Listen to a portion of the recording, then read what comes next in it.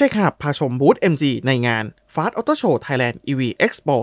2023 งานที่มีรถไฟฟ้ามาโชว์ในงานเยอะมากครับ โดย MG นะครับถือเป็นแบรนด์รถยนต์ที่มีนวัตกรรมรถยนต์ไฟฟ้ามากที่สุดในไทยเลยก็ว่าได้ครับ โดยในงานนะครับเขานำมาโชว์หลากหลายรุ่น ไม่ว่าจะเป็น MG Max 9นะครับเป็น Luxury MPV แบบ 7 ที่นั่ง ที่มาพร้อมระบบขับเคลื่อนแบบพลังงานไฟฟ้าแบบ 100%ครับแล้วก็มีกล้อง 360 องศาแบบ 3D มาให้ช่วยเพิ่มความปลอดภัยได้มากขึ้นครับมีระบบวัดลมยางอัตโนมัตินะครับแล้วก็ระบบรักษาความเร็วอัตโนมัติด้วย พร้อมทั้งมีระบบช่วยขับขณะรถติดครับ ต่อมานะครับ MG4 รถยนต์ไฟฟ้าแบบขับหลังในราคาไม่เกินล้าน ออกแบบด้วยนวัตกรรม Nebula p u r e Electric Platform นะครับ ซึ่งใช้กับรถไฟฟ้าโดยเฉพาะมาพร้อมช่วงล่างแบบอิสระนะครับ เข้าโค้งได้ดี และยังมาพร้อมกับเทคโนโลยีช่วยเหลือต่างๆ เหมือนกับ MG Max 9ครับ สุดท้ายนะครับ MG ZS EV ครับ รถยนต์สำหรับคนชอบ SUV ขนาดย่อมๆครับ แต่อยากได้เป็นรถไฟฟ้าแบบ 100%เนอะซึ่ง MG เนี่ยก็มีตัวเลือกให้ครับ จริงๆแล้วนะครับ MG เนี่ยยังมีรถไฟฟ้าอีก 2 รุ่นที่ได้รับความนิยมไม่แพ้กันนะก็คือ MG EP แล้วก็ MG ES ครับ ใครสนใจนะครับมาทดลองขับได้ในงานเนอะตั้งแต่วันนี้ถึงวันที่ 9 กรกฎาคมที่ไบเทคบางนาครับ